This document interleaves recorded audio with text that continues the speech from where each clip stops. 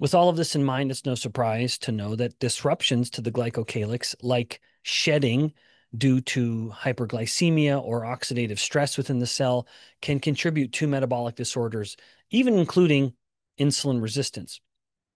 The glycocalyx is present on the plasma or the cell membranes of virtually every single animal cell on the planet including a bunch within our own bodies that we all care about, like neurons, muscle cells, red blood cells, white blood cells, fat cells, and more.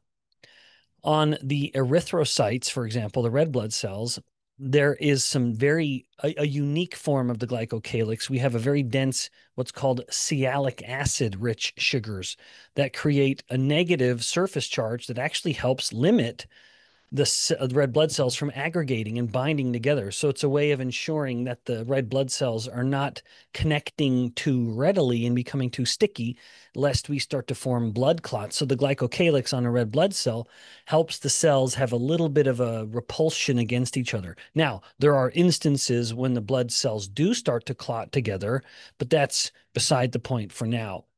Uh, in its normal unstimulated state, then the red blood cells are going to have a little bit of a mild repulsion to each other, in part thanks to the glycocalyx.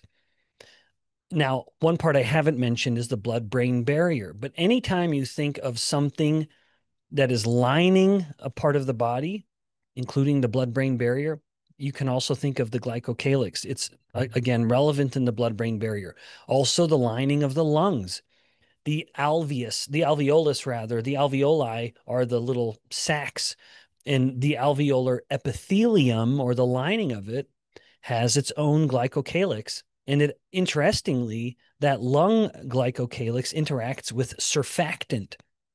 You might not have ever heard of surfactant if you haven't ever looked at lung physiology. But surfactant is this watery slash oily substance that reduces the surface tension of the alveoli, which makes it easier for the lungs for us to breathe in and out. You also have the glycocalyx in the kidneys to protect uh, filtration barriers and, and more. But today, as I noted earlier, I want to emphasize more on the gut, the blood vessels, and the fat cells because of the interesting metabolic regulation and of course because of my ongoing permanent seemingly interest in adipose tissue. Okay so let's move on to um, part of what the glycocalyx is doing in cell biology. All of that previous ramble was meant to be more of an introduction.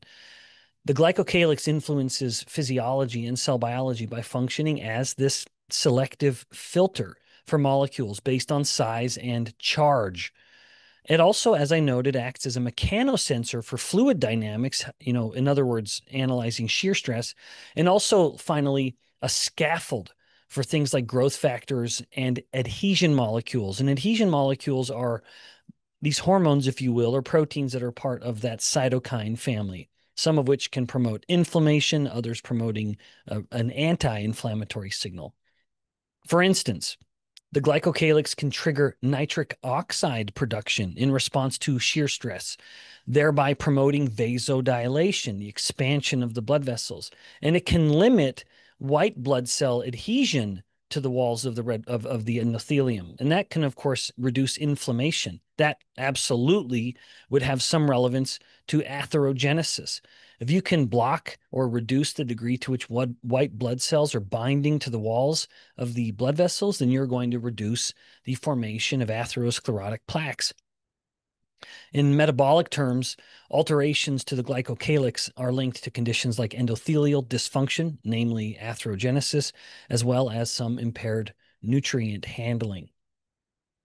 All right, let's get into the endothelium. In the vascular or the blood vessel endothelium, which lines all of the blood vessels, so think of the, the wall of the blood vessel, the glycocalyx forms a prominent layer that extends into the bloodstream. So it's it's move it's pointing in.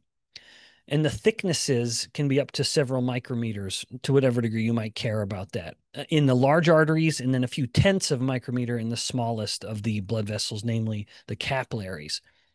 It responds to hemodynamic forces, so the pressures in the blood vessels, by activating pathways that release nitric oxide, helping to maintain vascular tone or, or caliber or size, and thereby preventing or helping prevent hypertension.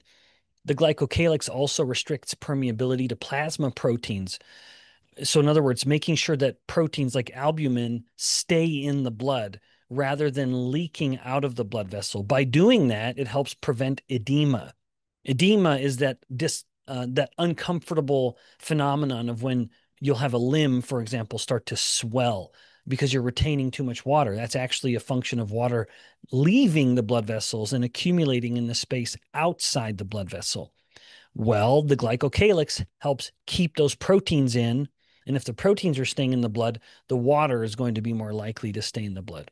And then finally, the glycocalyx also creates a lubrication layer for efficient blood flow by repelling the erythrocytes through the net.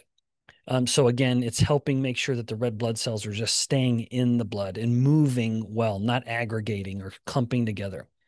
But of course, no surprise, if the glycocalyx starts to experience some degradation, which, as I noted, can be triggered by oxidative stress, it can be triggered by disturbed blood flow in certain areas, but also metabolic factors like hyperglycemia and consequences of hyperglycemia, namely the formation of advanced glycation end products or AGEs, all of which not only can compromise the glycocalyx, but interestingly play a role in atherogenesis, the most famous of all blood vessel problems. Acute hyperglycemia, for instance, has been shown in healthy adults to reduce the uh, systemic uh, endothelial glycocalyx volume by roughly half. So you take the glycocalyx of a healthy individual, induce hyperglycemia, and it will have shrunk by about half. So that can then lead to a state that is more likely to promote coagulation of the red blood vessels, as well as infiltration of white blood vessel, of white blood cells or immune cells into the walls of the endothelium.